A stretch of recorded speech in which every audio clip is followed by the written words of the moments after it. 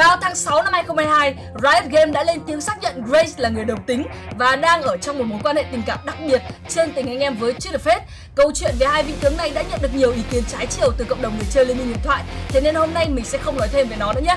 Chỉ là hôm trước vừa lên video Grace xong nên hôm nay mình bonus một video về chi kỷ của kẻ ngoài vòng pháp luật Grace là Cheat the Fate Xin chào các bạn, đây là series trên cờ với nắng. Có thể các bạn biết rồi, Cheat the Fate là vị tướng duy nhất có cả Legend và tướng xuất hiện ở mùa 9.5 Và đây cũng là bài đấu đã làm mưa làm gió ở các máy chủ nước ngoài một thời gian rồi. Về đến kênh nắng lúc nào cũng delay một tí để có chất lượng tốt nhất cho các bạn đấy. Ok, chúng ta sẽ vào game luôn để xem là bài này chơi như nào nhé. Chọn Legend TF để hợp nhất với cái bộ bài mà mình sắp chơi. Thánh địa của Thresh đưa chúng ta đến vùng đất quần đảo bóng đêm đã bị lãng quên. Đồ khởi đầu sau ba ra quái của mình là một cung, một giáp và một găng để vẽ được đồ đẹp nhất có thể thì mình chọn hộp Pandora vàng ngay vào chọn lõi đầu tiên. Khởi đầu với form bài có phù thủy cộng với một vài tướng hư không. Bài của mình khá là yếu Nên là gặp đối thủ đầu tiên chỉ với ba chết đã làm khó được mình rồi. Buộc mình phải lắp chiếc mũ thích nghi rơi ra từ hộp Pandora Để giữ lại được cái chiến thắng đầu tiên này. Suy nghĩ tính toán một lúc xong rồi mình định bán sạch bàn đi Chỉ để lại kêu với cả Poppy để tích 10 tiền. Vì check bài thấy các nhà đều mạnh Nghĩ lâu quá xong rồi không kịp bán. Thế là mình vừa thua đau trước cái nhà ông này toàn hai sao Mà lại còn không tích được tiền nữa tiếp tục thua một round full house trước cái nhà cấp 5 với chiếc lõi nhà máy tái chế, họ lắp sạch đồ trên sàn để đấm mình luôn. Mặc dù chỉ thua 2 trên 3 round trong vòng đi chợ, nhưng mà mình vẫn ở dưới đáy xã hội và được shopping đầu tiên, lụm ngay cái nước mắt ba tiền để đỡ phải suy nghĩ nhiều. Thấy kêu không có đam nên là mình cho Soraka cầm blue và Milio vào sân đép cùng với hai can trường. Nhà đấu sĩ cho gắt đấm mình thêm 3 chết ở vòng này nó xét được đổi ra ở 2.6 nên là mình giữ lại. Hoàn thành vòng 2 với chiến thắng trước cái nhà Pintover. Mất luôn cái chuỗi thua của mình khi mà mình mới chỉ tích được 30 tiền. Rao đá trả cho mình khá khá tiền để mình tích được lợi tức 40 Và thêm hai mảnh đồ là một nước mắt và một đai máu. Bài đã yếu rồi thì chớ. 3.1 gặp ngay cái ông đang đếp bằng Noxus Lắp luôn cái vuốt rồng với cả thú tượng cho Swain. Team mình đã rất cố gắng nhưng mà vẫn không thể hạ gục được nguyên soái Noxus Lõi kim cương xuất hiện được vào 3.2 Vừa là cơ hội vừa là rủi ro cho mình. Chưa ổn định form bài mà lấy vương miện nắp hóa là đi. Loạn kho báu chôn giấu tầm này mà lấy thì chỉ có chôn mình luôn chứ không có chôn giấu gì nữa vì phải đợi đồ khá là lâu. Tiếp tới trang bị thì cũng vậy. Roll cả ba thấy vé trúng thưởng là phù hợp với đội hình mà mình hướng tới nhất nên là mình chọn luôn. Không biết là nước đi này là cơ hội hay là rủi ro nữa. Up level 6 vào roll để tìm form bài của mình trước đã. Roll mạnh xíu xuống còn 30 tiền thì mình có được các thứ mình cần. Chỉ uh, thiếu velcot. Có điều là team toàn một sao may mà mình gặp cái nhà này đang eco nên là vẫn thắng Muốn roll thêm nữa để tìm Galio 2 mà nó chỉ ra Soda 2 nên là thôi Mình dừng lại để chiến đấu với cái nhà Zinix đầu trận đấm mình. Giờ mình lại ăn đấm tiếp với một chết. Khi Tanh vẫn còn một sao và đam phía sau thì chưa có đồ. Nhặt về chiếc gậy ở chợ để lắp kiếm súng cho TF là cần thiết. Sau một vài trận đánh thử thì mình thấy là TF cần có kiếm súng để hồi phục cho Galio Vì Tanh cần phải trụ lâu nhất có thể để còn giảm kháng phép cho phía sau gây đam Hợp lý. Lóp đi lõi kim cương mà Eco 50 tiền roll là bị đấm tới chết ngay. Mình roll tiếp để tìm Galio 2 Nhờ vé trúng thưởng nên là cũng không tốn quá nhiều tiền để tìm thấy nó. Đối đầu luôn một bài meta là chó gát Dễ dàng xử gọn với sức chống chịu vô cùng khó chịu. Đến từ vị trí của Galio, Cộng với sự hồi phục từ TF phía sau. Đồ chuẩn của các vị tướng thì mình sẽ nói ở cuối video nha các bạn. Tiếp tục chiến thắng trước một nhà vẫn đang Eco lên 9 Với hai chiếc lõi là nhỏ nhưng có võ và khuyến mãi kinh nghiệm. Để nâng con số trận thắng lên 2 Rao sói trả cho mình hai mảnh đồ là một đai máu và một nước mắt cộng với một ít tiền nữa. Đồ xấu thì tí nó đổi ra đồ mình cần không sao. Miễn có đồ là được. Đúng đúng. Với 75 tiền mình xả mạnh một tí để tiếp tục ổn định bài. Xuống còn 30 tiền thì lên được full team 2 sao cộng Galio thứ 7 Khá là xui cho mình vì không thể nâng số chuỗi thắng lên 3 Vì 4.1 mình phải đối đầu với cái nhà Piltover vừa nổ hũ 16 số. Grace team bạn random đồ chiến quá. Nhảy ra sau làm mềm team mình để cho Zinix xử nốt Tục là một chiếc lõi kim cương. Lập đội là cái lõi không ok nhất trong cả ba. Giải phóng ẩn vật sẽ cần nếu như mà mình không có Pandora trong tình huống này Độc dược sĩ thì bí quá mới chọn tôi chứ với đội hình này thì không phù hợp lắm.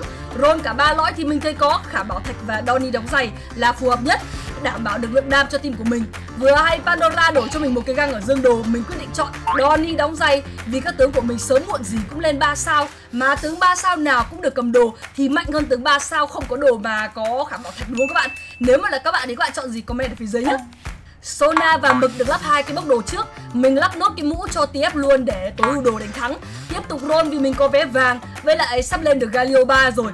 Roll mạnh xuống còn 10 tiền thì mình lên được Galio 3 6 Sona, 5 Mực, 5 Talia và 4 chiếc được phết. Khá là ổn rồi nha. Vẫn còn một ông đang âm mưu lên 9 với combo khuyến mãi kinh nghiệm và quỹ phòng hộ Nên là mình dễ dàng có được chiến thắng ở round này. Fiora Kaisa cách đấu đã bị yếu đi một chút. Đã thế ông này roll cạn tiền mà carry vẫn chưa lên được hai sao, Thì không thể thắng bài mình được. Mình xin nhé. Đồ gần như đã lắp hết, nên là giờ mình chỉ cần tiền thôi. Lấy về Saiyan cầm giáp ở vòng đi chợ để bổ sung lượng kinh tế các tướng cứ ra dần dần từng con một, Mình thì vẫn tiếp tục roll và bắt được Sonaba ở vòng 4.5 Đối đầu với cái bài mạnh nhất meta chính là trinh phạt Ionia, Nhưng mà cái ông này đang eco và có ý định lên 9 Chứ không roll 8 để để máu lobby. Bài của ông ấy carry toàn một sao nên là vẫn chưa đục thủng được Galio thì mình đâu. Nó cứ ra thì mình cứ roll Roll tiếp xuống còn 10 tiền thì bắt được Velcott thứ bảy và Talia thứ bảy. Chiến thắng 7 đấu phù thủy can trường khi mà họ roll cạn tiền chưa lên được carry 2 sao để thắp lên ngọn lửa Witchick lần đầu tiên. Tuyệt của nó đấy. Bốn mảnh đồ cuối được rơi ra ở Royal Team. Mình tối ưu nốt một chiếc bốc đồ cho Talia, đồ còn lại cho tạm Poppy cầm tí nó có ra van thì thay. 27 tiền còn lại mình roll cạn mỗi thứ 7 con rồi. Mình roll đến còn một tiền thì bắt được cả ba con lên 3 sao để hoàn thành nốt bộ sưu tập rát vàng này. Công nhận là có vẻ trúng tưởng roll sướng cái tay thật. Đập tơi tả bài đấu meta cho gắt đấu sĩ với cho gắt ba đồ chuẩn Galio chống chịu siêu khỏe cộng với sự hồi phục của team Tướng nào cũng có đồ nên là mỗi tướng góp một phần lượng đam Để dồn chết con quái vật hư không này không thương tiếc. Mình có được chiến thắng thứ năm và ngạo nghễ đứng trên đỉnh xã hội. Bạn bị kinh rồi. Gặp lại Fiora, giờ họ đã update lên Fiora 2 Thêm được con Hammer nên là Fiora rất điểm được Galio. Và đấy cũng là điều duy nhất mà Fiora làm được trước khi nằm xuống để đem về thất bại cho chủ nhân Tao đó được. 5.3 mình gặp một đối thủ cũng rát vàng đội hình bắn tỉa Không kém cạnh bài mình nhờ có lõi bay như chim Cũng là rát vàng như nhau nhưng mà sức mạnh thì không giống nhau chút nào. Team mình hoàn toàn áp đảo với cái lượng sát thương dồn trong thời gian ngắn. Đối thủ chỉ kịp ngáp xong rồi nhận thất bại chứ không thể làm được gì hơn Top 4 đã có chủ trước vòng đi chợ 5 chấm. Mình múc được con Javan cầm quỷ thư quá ngon luôn. Về thay chỗ Bobby.